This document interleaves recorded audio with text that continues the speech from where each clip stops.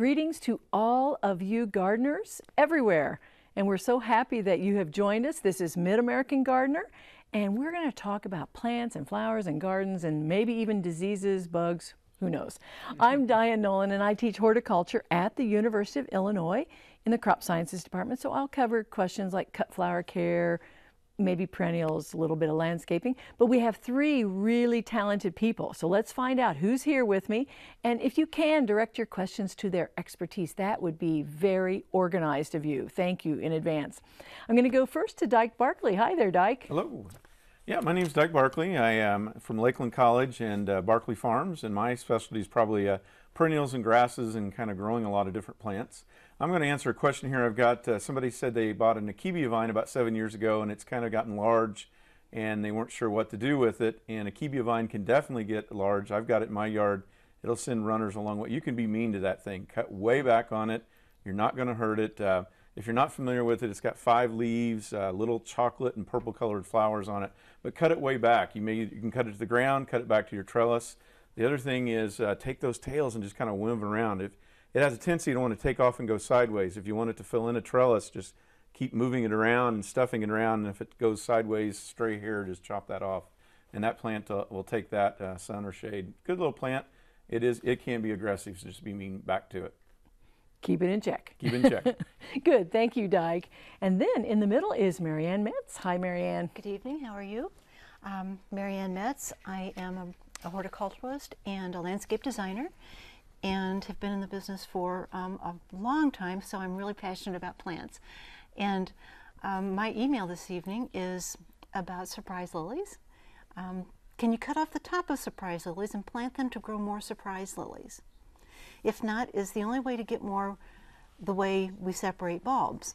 Well, the genus is Lycoris, and unfortunately, you cannot cut the, the flowers off and get new plants from them. They do, however, make really good cut flowers and they're fragrant, so they're really lovely to enjoy like that. Now is the time to dig them up after they flower. So now is the time to dig them up, and they are bulbs. So you want to, to divide them and replant them um, again and separate as you go because they'll form uh, nice big clumps of bulbs in the ground. So dividing and sharing is, and now is the time to do it. Very good. They are pretty. They're beautiful. Very surprising too that they come up without their leaves because their leaves are in the spring. Okay, right next to me, Jim Schuster. Hi there. Hi. I'm a retired plant pathologist with the University of Illinois, and I brought fasciation. This is um, caused currently, but only 10% of the time, by herbicides, uh, spe uh, specifically the 2,4-D type. However, they were writing about this in the 1100 ADs, and they blamed it on fairies at that time. I see. Uh, so basically, 90% of the time, we have no idea what causes this. Uh, it can be a one-year problem, it can be a two-year problem, or a three-year, and then it reverts back to normal growth. But flat growth is weak growth, and so the recommendation mm -hmm. is cut it off and send it to me. no, but anyway, you, you, know, take it out because uh, when it goes back to normal growth, the weight of that new growth is eventually going to get too heavy for that flat growth to support, either in wind or just by its own weight, and it'll snap off and leave you a hole. So uh, as soon as you see it, uh, just put it off somewhere back where you have a size shoot and uh, let it go. And for a floral designer, they would be so happy. Oh, yes. Oh, yeah trim mm -hmm. it mm-hmm. off, place it in with some other flowers, and that's fantastic. Because fantail willow, ooh, it does that a lot. So designers like that. Okay, now we have a video question, a video mail question, and we're going to go to it next. Hello, Mid-American Gardener. If you look at these vines that are growing on the fence, I'm not quite sure what these flowers are. As you can see, they're very beautiful and they're late bloomers here in the fall. And I was just wondering if you could tell me what these are. They're very pretty and they have an interesting scent. Thank you. Okay, gardeners, what is it? Yeah, that's definitely the sweet autumn clematis. It's a clematis that's uh, much, much easier to grow than a lot of the others. It blooms this so late, but it it's called Sweet Autumn Clematis, a good fast grower. And I'll bet he only had one vine, not several. Um, can, Many times I've seen that do 25, 30, 35 feet, maybe even 40 feet. So it was probably just one vine. It will cover anything unsightly. That's, that's exactly it- right. But that fence looked nice. And it blooms on new wood, so you Mm-hmm. can cut way back hard on it, maybe not to the ground, but cut it back to the fence and not have it start going over so much, and it, it won't mind that at all. Cut it back in the spring. No, don't most clematis like the bottom of their um, uh, stems shaded and the rest?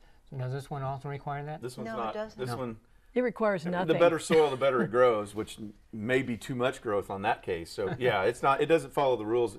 Only if you look at the leaves would you ever guess that it's clematis. It doesn't act like the others Right. at all. It's not mm-hmm. finicky, no diseases, no. Gets out of control. It's not like Akebia. It gets out of control. Chop her back, and it'll come right back and do good. And you may not want to let every seed drop. I mean, there, it, it, it does have a lot of seeds, and every one of those may germinate, so you could remove those. Now, if you have a question about what a plant is or what, you know, what problem you've got in your garden, send your video email to yourgarden at gmail.com, and we'll answer it on the air. All right, let's go to the phone lines, if you will. And we're going to start first with line two, and it's about lilies. Hi there, line two. Yes. Uh, hi, Dianne. Hi there. Uh, my question is in regards to the lilies. Uh, that is a bulb. They're right now. They're they're I don't know three, four, five feet tall, and they're green. They're they're they're already done flowered, of course. And I was wanting to know when can you transplant or dig up the bulbs? They're ornamental lilies, what they are, Okay, versus the regular root type lily. exactly. So ornamental lilies versus daylilies. Okay, all you perennial enthusiasts, yeah. let's tell him what's happening. Well, they're, they're liliums. So, uh, yeah, four to five feet tall. That's awesome. I love looking lilies in the face. Yes. That's really enjoyable. Um, you can dig those up and separate them. Um, I, I would think it was, we're, we're getting on the time that you want to not do that. Um, but after they've flowered, you can do that almost any time. I think spring's a good time to separate the bulbs. What do you think, Dyke? Yeah, I think i- i- possibly depending on how the fall is, if they would start to die back, I think you can cut them back and dig them up and move them if you needed to.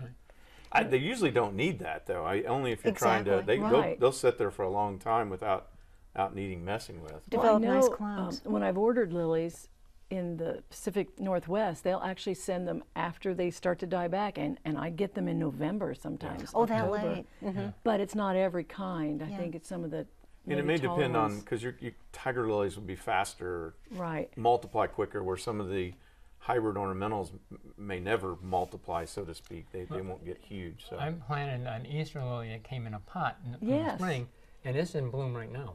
Oh, my. That's It- it great. came- you know, and died back and then regrew, and it's in flower right now. And people Wow. should plant their Easter lilies. Mm-hmm. They're a bulb. Yeah, and it may or may really- not survive. I mean, when I used to do them up north, they last two or three winters and then freeze out, and but they got new bulbs every. And I guess always would maybe ball say- down. I don't know if I'd move it if it still has four foot of foliage. Right. I would think it's gonna. I would have thought this dry or very quickly it's gonna die back, and then, then you could. There's still time. There's still a few weeks, a month. But still unless it's move in a it. bad place, it's sort of like hostas. You want the clump to get bigger. Yeah. Well, see, isn't it like other bulbs? You want the roots to dry down a little bit before you move them, so you don't get uh, root rot into the bulb because you And I think fresh that's roots. why I received my bulb so late from Oh, these sure. growers, is they wanted it to be a little more dyed back. Right.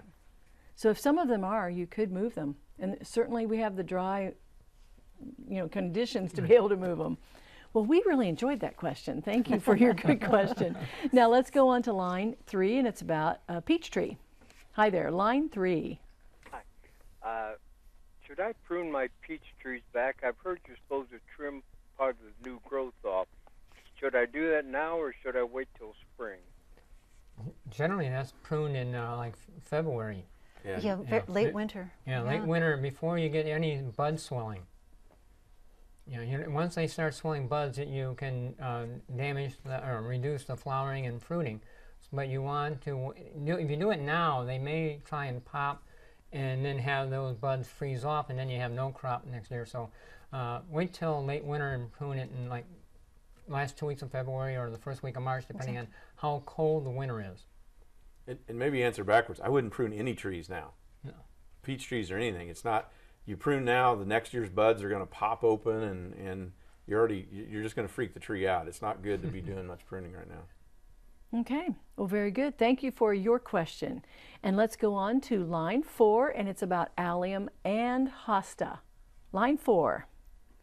Hi, Dianne. Hi there. I have a Beauregard allium that has been in the ground for this. w- This is the third year, and I have a fire and ice hosta. They were both planted at the same time. Um, in the spring, I get three leaves on the hosta, and then it disappears. And the Beauregard allium gets foliage, and then nothing. And I was wondering if possibility of it being buried too deep. Do you have rabbits?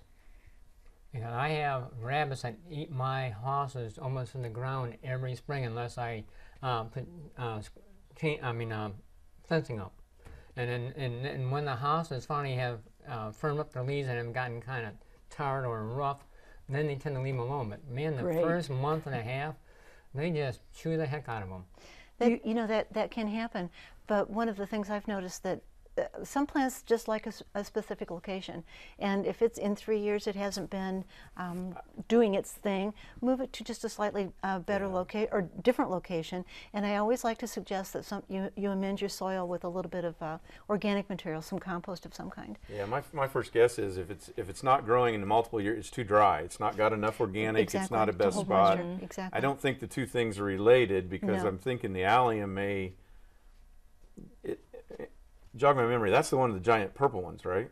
Beauregard. Beauregard. I believe so. They're not notorious for being long, long, long term. I don't know why it wouldn't do it, but yeah. But in three Um, years, you, you'd think it would do a little bit. It would do something, Yeah. you'd think, the first Yeah. year. So something's Yeah, not if it- quite right in that site. But for it. definitely full sun. It should be in full sun for sure. I, and we didn't get that information from the caller. That's but- true, but it does need full sun. But I have mixed alliums with hostas. If it's if it's a late flowering out like a sugar maple, the alliums, will- the early alliums will come up and do all right and kind of go dormant. Because I've I've put uh, Star of Persia in with the hostas because that's my trick for deer repellent, is mixing alliums in with the hostas and it'll slow the deer out of the hosta patch.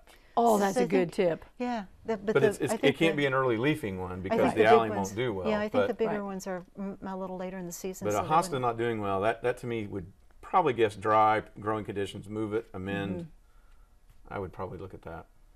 Okay, well, boy, we like that question too. So, very good. We ha- we really like our viewers. Now, we want to go to a special "Did You Know" segment next.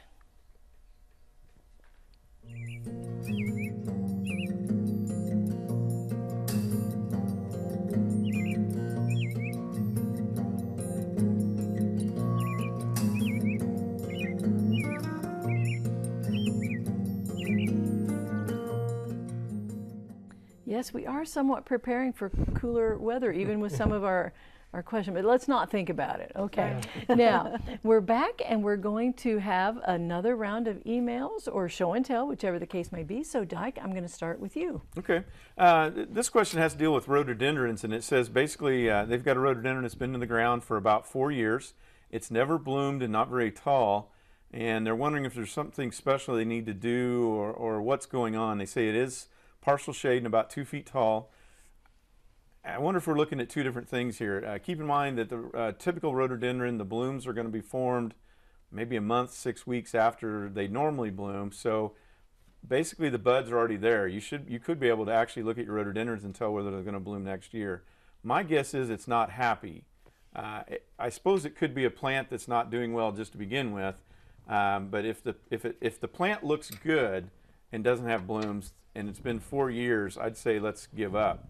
I hate to say that, but there is a point where you cut your loss. But if the plant's not growing, I'm also thinking again, rhododendrons are some of them in particular need pretty good soil. They're not what I'd call stress-loving plants. Mm-hmm. So if you can't get your rhodi to grow, I, I would say organic matter, do some moisture, so on and so forth. But I also am one, if it doesn't do well in four years, maybe we need to look at a different plant for that spot. That three years and you're out. I'm really pretty good at that. Three strikes and you're out. So four mm-hmm. years, I would be.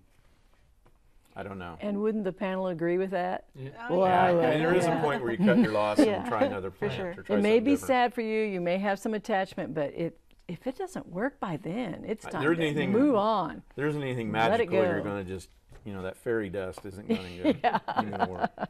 Would be nice. Yeah. but it doesn't work that way. Okay, great. Now let's move on to a question or show and tell for you. Show and Mary Ann? tell, yes. I brought, um, I brought some ornamental grasses, very, very popular right now in the market, and I wanted to show the diversity of their inflorescence or their flowering. The leaves are like this also, um, but but the inflorescence I think is beautiful, and you, people see these right now. That's that's what they're blooming right now. So um, this is maybe one of the most common. It's it's uh, Calamagrostis Karl Foerster. Um, can we see it? Yeah, we can see it a little bit. Um, really uh, upright inflorescence with a deep green foliage. Um, I even brought, I shouldn't have done this, but it's an annual pennisetum, uh, the purple leafed pennisetum. If I could hybridize one that were perennial, I'd Oh, probably be making a lot of you money. would make a lot of yes, money. I would, but I am not going to do that, so I won't be very rich. But one of the favorites, and I, uh, one of my very favorites, is this miscanthus. Uh, you see this quite a lot in um, plantings, whether it's uh, Maiden commercial, grass. maiden grass, silver grass, a whole bunch of different names for it. But and panicums, real quick, I'll do just another quick one. Panicums, I really like these because they're indigenous to the Midwest, and I think they do exceptionally well. And I do have one that has finally come in the market that's beginning to get a little bit more of a purple leaf. I don't know if you can see the purple leaf, but it's kind of cool. That's my show and tell. Really pretty. And they look nice together. Yes, I think this is a beautiful bouquet. It's very pretty. You knew? should carry it on your arm. I as won't. your- okay. Just a thought. Okay. Now, Jim, what have you got for us? I have a person from Springfield who uh, made a new bed in the shade and wanted to plant impatiens and then heard about downy mildew and whether or not that would be a problem. And yes, it will be. Downy mildew has been found in the Chicago area as well as in the central parts of Illinois.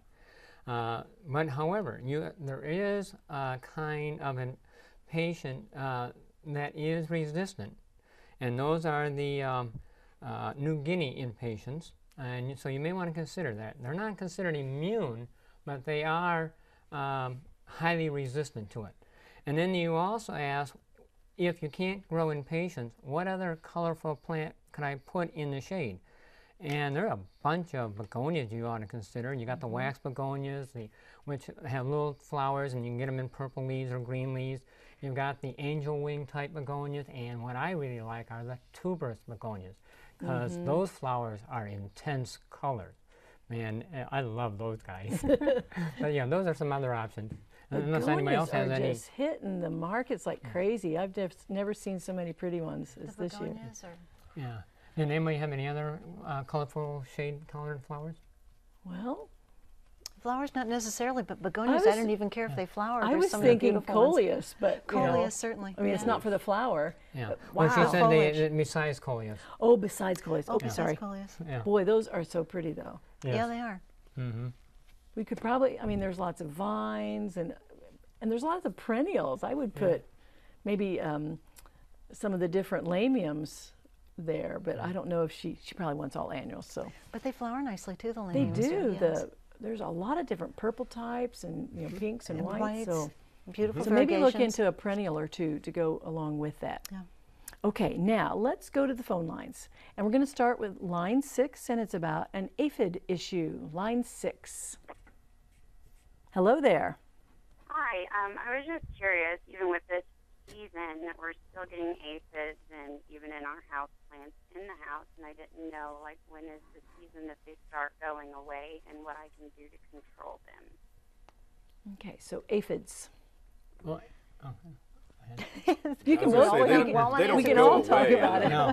When cold You have to weather make takes the foliage away. out, it takes the aphids, so they Yeah. don't necessarily go away. But So houseplants, Yeah. you have to start working on that. Yeah. Right now is a good time to start working on Yes. it. And, and, Absolutely. and insecticidal soap works very well on them as long as you get good thorough coverage of them. And it's safe, so, you know.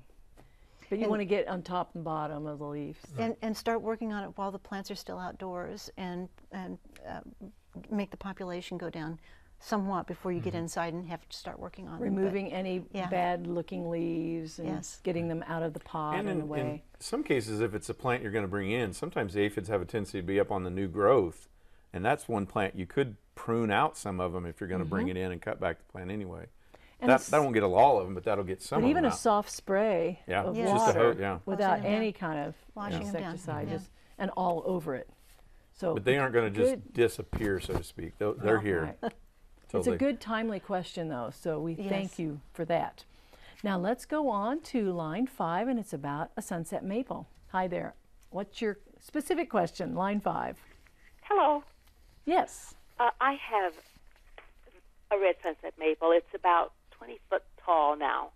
I had it installed um, three years ago. All of the branches, well, most of the branches on the west side of the tree are dead. My question is, when should I prune it n- next year? And what's the likelihood that the form will recover once I prune it? Well, that would depend on why the branches died.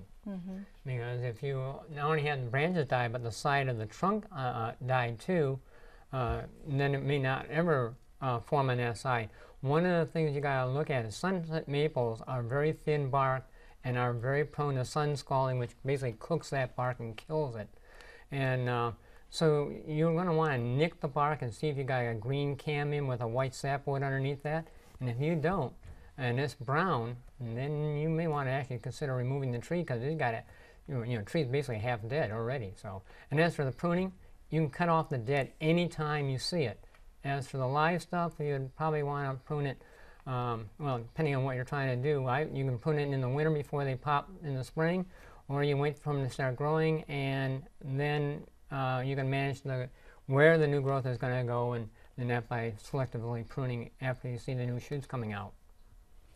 And Yeah. I would definitely check for what why you got. Yeah, that's something I, that I agree. You want to start doing some checking. A three-year-old tree isn't very old, and Mm-hmm. if you got a whole section dying, we've got some problems that we need to worry about more than pruning. Yes, but I, the priority is why. What's going on? Right.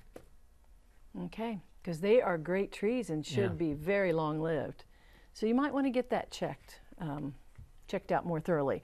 Okay, let's go to an insect question. It's on line two. Line two. Hi. Yes, what's your question? Well, I have a yard full of holes about the size of a large pencil.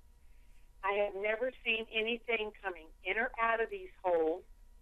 They are in the grass, they are in the bare dirt, and I don't mean just one or two. It's my entire yard.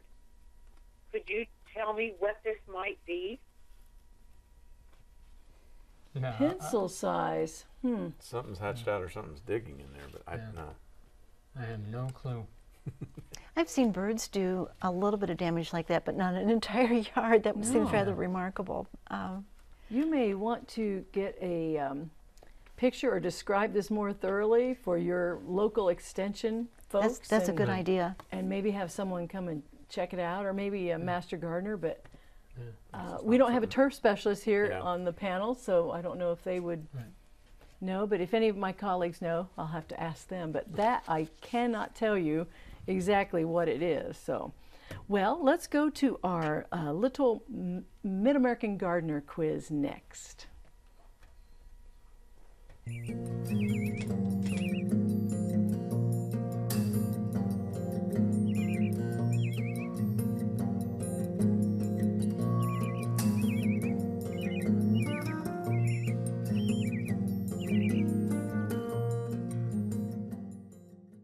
Okay, there's a little quiz for you.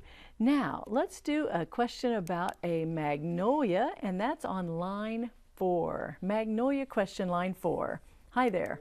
Hi there, how are you? My Doing wife- great. uh, My wife is from Augusta, Georgia, and she wanted to know if we can possibly grow a magnolia tree here, and what can we do to make sure it flourishes. And is there a specific one?